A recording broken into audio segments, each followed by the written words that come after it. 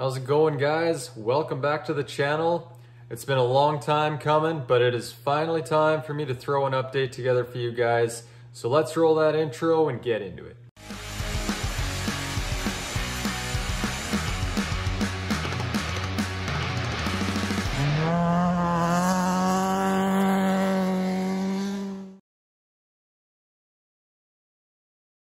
So in the last Frankenstein video I put out, I was refinishing the wheel wells and I sprayed them with Raptor liner. And uh, a lot has happened since then. I got a lot of updates for you guys, so let's get into this. So in a previous video, I mentioned to you guys that uh, we slowed down on content a little bit because there were some health problems in my family. So I'm gonna be straight up with you guys. Uh, my wife had a pretty serious condition and uh, it got really bad to the point where she was hospitalized for uh, quite a long period of time. And uh, so I had to make a lot of trips to the hospital and uh, bringing her in for appointments and stuff like that. And uh, I also have a nine-year-old son at home, so I had to spend a lot of time looking after him on my own as well. So that ended up eating up a lot of my time. Uh, had to prioritize my family, obviously. So uh, that's kind of where a lot of my time went. But at the same time, I was losing a lot of sleep over it too. So I ended up spending a lot of late nights out in the garage. So I was getting a lot of work done, but I was in no mood or condition to be recording myself. So this is where we're at with Frankenstein. We've made a ton of progress. I've spent a lot of hours on it, but I haven't recorded much of it, but I think I'm to the point now where I'm ready to start recording again. Everything is starting to look up, everything's improving, so very thankful for that. 2022 was a very rough year for my family, but 2023 is shaping up to be a really good year. Everything's going good so far. So with that out of the way, let's get some updates going here. So first things first, I know what you guys are thinking. Matt, you live in Canada. It's minus 30 degrees Celsius outside. How are you painting? How are you doing body work? Well, let me show you. I finally pulled the trigger on getting a heater installed in here. So uh, the very first year we moved into this house, me and Tim insulated this garage and uh, we were using a propane heater occasionally when we were working out here, but it was not working too well. I wanted constant heat in here. This is the solution. So uh, this thing I have set to 20 degrees right now. I just turned it off so I could film, but uh, we're sitting at 18 degrees Celsius right now. It is nice and toasty in here. And if I come over to the coldest part of my garage, we're sitting at about 14, yeah, 14-ish degrees Celsius in here. So I'm trying to keep it above 10 degrees at all times and uh, this heater is doing the job. So uh, we've had a couple days now where it's been minus 40 degrees out and uh, this thing's maintaining it no problem. So I got my ceiling fan going too. Uh, if I have the ceiling fan off, all the heat kind of just collects in this area. But uh, as long as I have the fan running, it circulates it very well in here. So super stoked about that.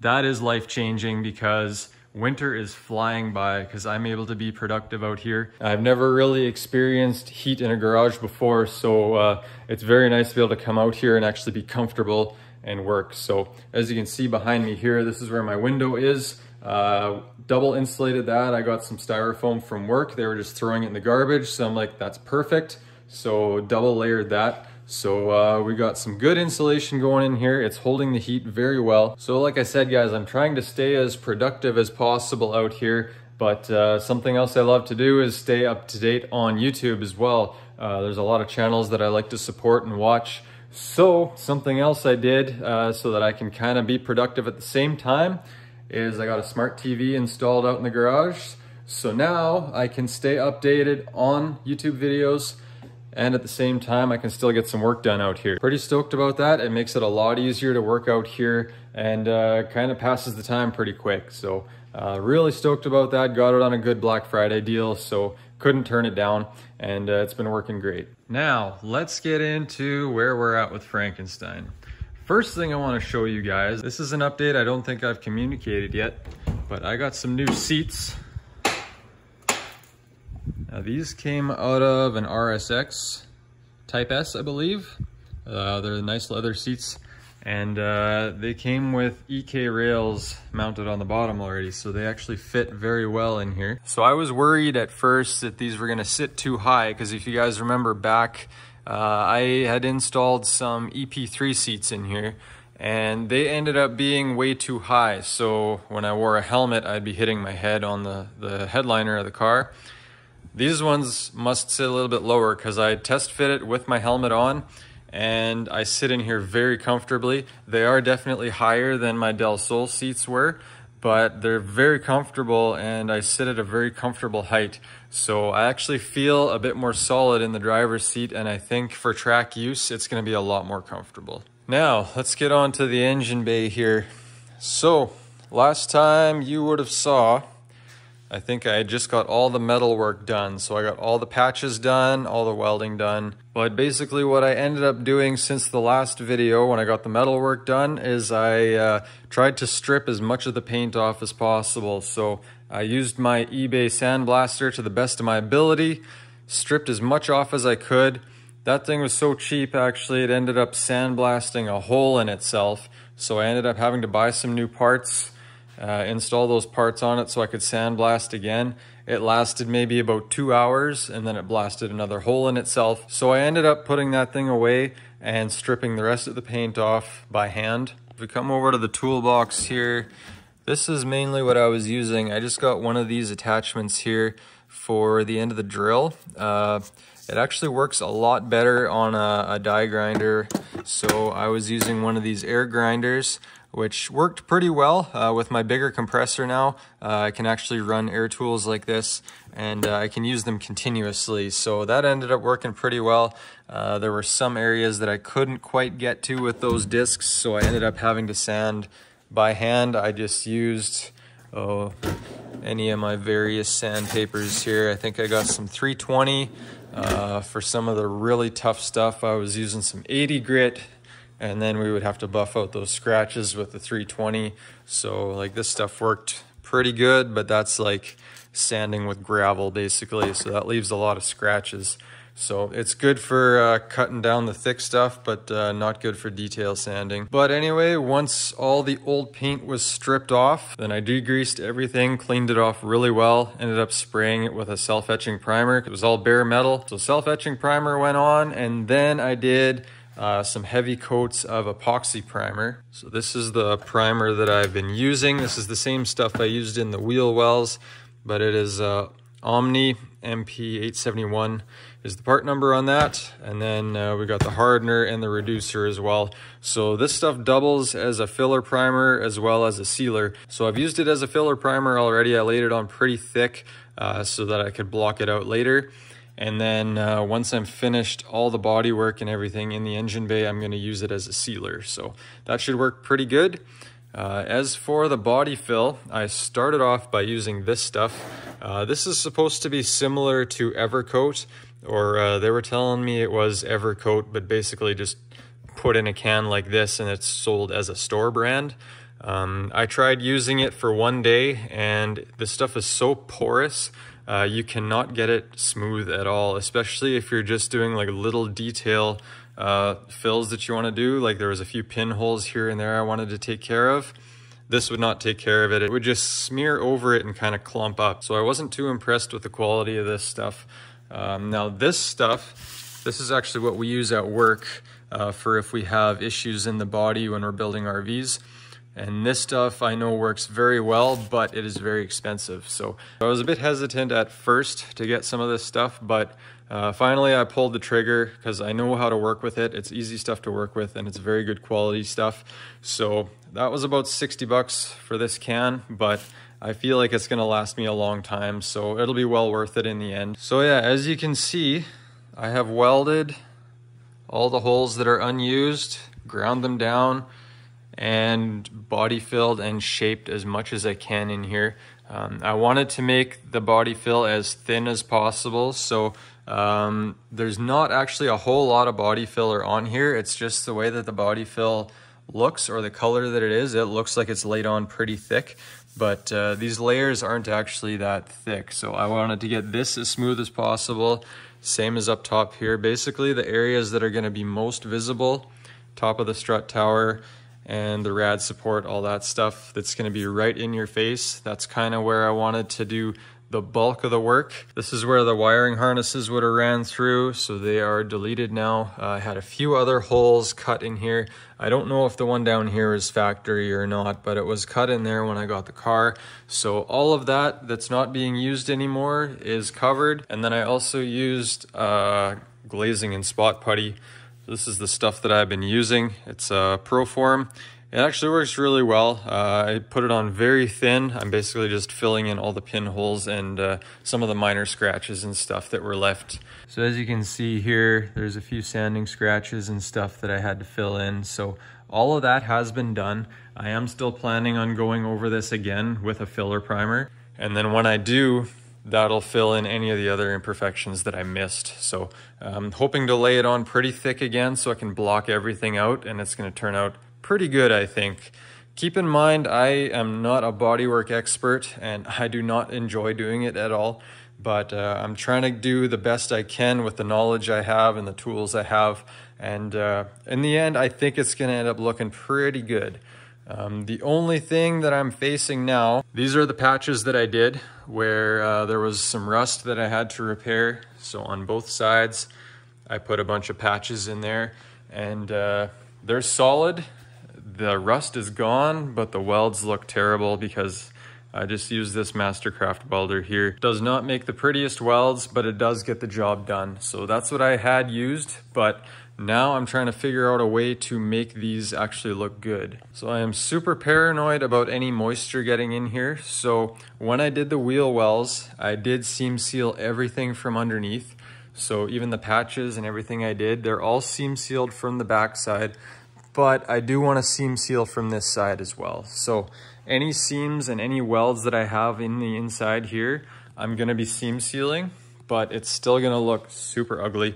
Uh, so if I zoom in on this guy here, like I don't think I can do anything about that with body fill or seam seal. It's not gonna make it look nice. So I had an idea a while back. It's gonna take me a lot of extra time, but I think it's gonna be worth it in the end. Basically, I'm going to seam seal all the seams that I have here, all the welds that I have here.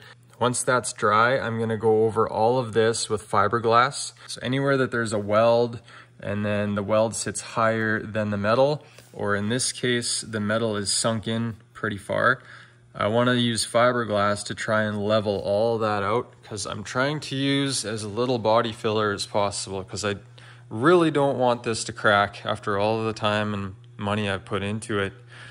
Uh, I think fiberglass might be the best way to go just uh, to level everything out and then I can do a thin coat of body fill over it just to get rid of all the other imperfections. So I think that's the route I'm gonna go. That's basically the step that I'm at right now is I'm getting to the seam seal. So uh, I guess since I'm out here and uh, I basically got you guys all caught up, I think I'm gonna get to work on that. Uh, I'll show a bit of the seam seal process and then uh, we'll wait for that to dry.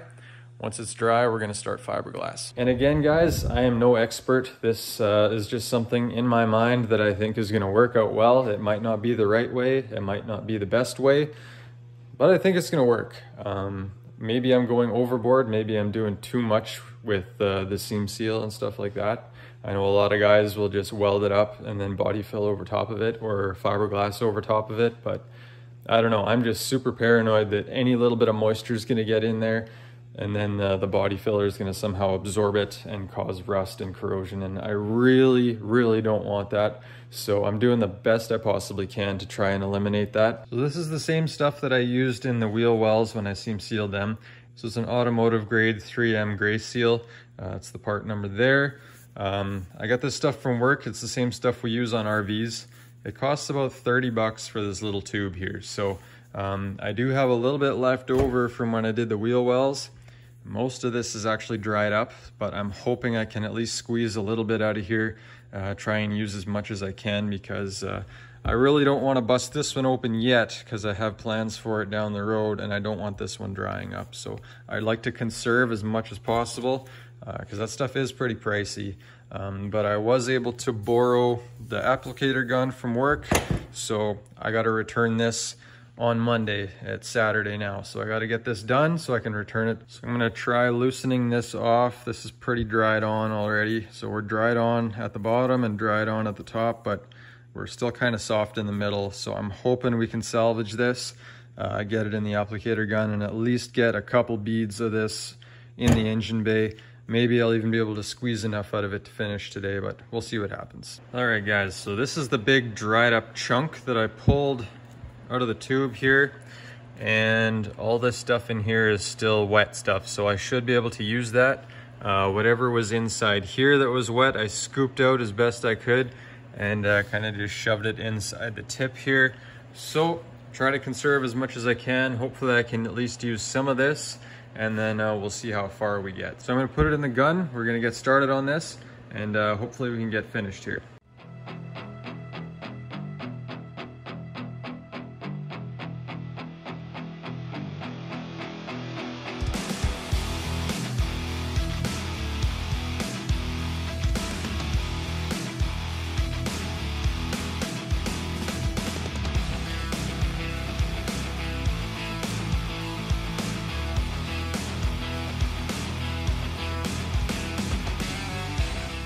All right guys, so now that I got a decent bead of seam sealer covering all the welds and the seams, I'm gonna go over it and just kind of smooth it out with my finger just so that it's not so globby. And then uh, it doesn't really have to look super pretty because the fiberglass is gonna cover it all anyway.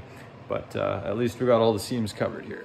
All right guys, well, here's where we're at. Like I said, it's not gonna look super pretty. I didn't do a whole lot of prep work, so when I do the rest of the seam seal in the engine bay, I'm gonna tape off everything and I'm gonna smooth it out really nice with soap water. But for this purpose, this is gonna seal just fine and it's all getting covered anyway. So I didn't wanna waste any extra time on uh, making it look nice.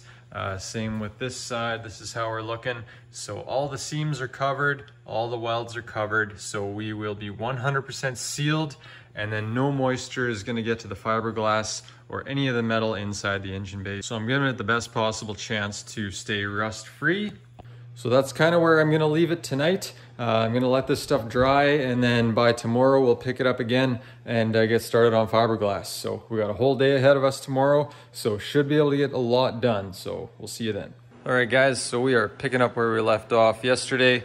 Uh, so I got my fiberglass laid out here. I started cutting some strips and I got my resin here. Got some disposable paint brushes, so these are gonna be a single use. Uh, as soon as they're full of resin, just throw them out. Got a bunch of containers here for mixing the resin and uh, got the heat going, so we should get it nice and toasty in here uh, so the stuff can cure properly.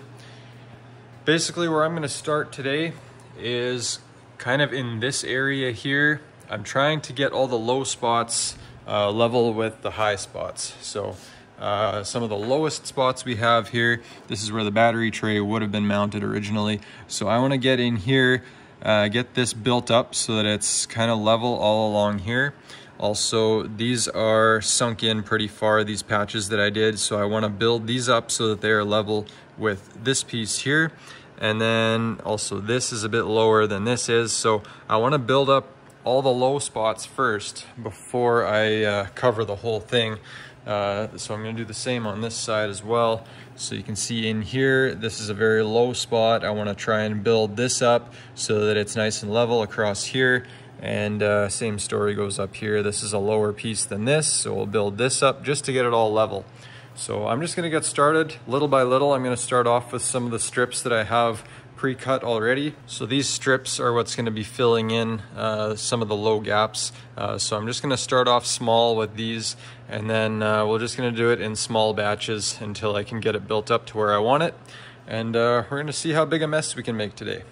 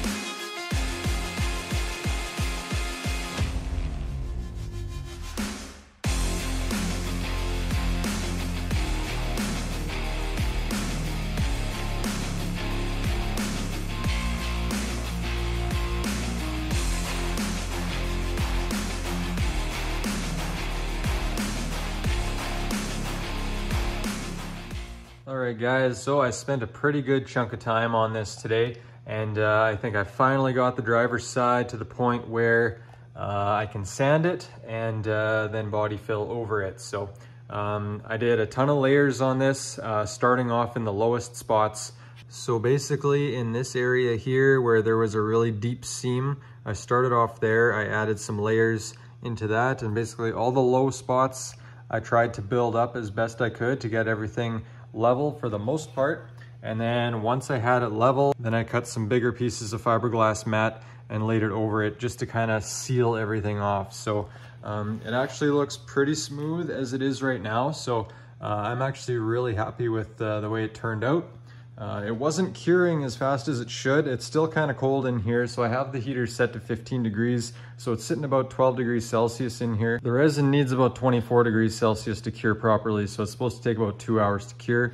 So I got the heat lamp going, uh, one for light and two so it'll cure a bit faster. So uh, I'm gonna leave that on it for a little bit yet, uh, just to add some extra heat to it to allow it to cure properly. So the driver's side took a lot longer than anticipated to get finished, which means I didn't have a chance to get to the passenger side yet. So the plan is uh, this week, I'm just gonna continue to work on this part of it. If I can get this all fiberglass by the end of the week, then by the weekend, I should be able to start sanding and getting everything nice and smooth. So I think I'm gonna stop the video there, guys. It's already been a pretty long one because they did all the talking in the beginning, but uh, we made a lot of progress so far. Still a lot of work to do. Um, I do still have the engine sitting here as well. It's protected under a garbage bag, and uh, I really wanna start digging into that thing but uh, I won't be able to do too much engine work until I get the engine bay finished. So I really want to prioritize the engine bay, get that done first, and then uh, we can start tearing into the engine again.